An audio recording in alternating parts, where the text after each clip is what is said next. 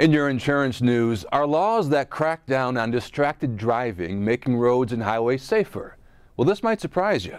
According to the Highway Loss Data Institute, there is no significant reduction in crashes after a state passes a law against distracted driving. In fact, the Highway Loss Data Institute even warned that there may be evidence suggesting crash rates may have actually increased in some states that recently enacted texting bans. The Department of Transportation quickly denounced the study as, quote, misleading, unquote. But law enforcement officials have long pointed out that it's hard to enforce a texting ban since the devices are usually held below the window level of a car.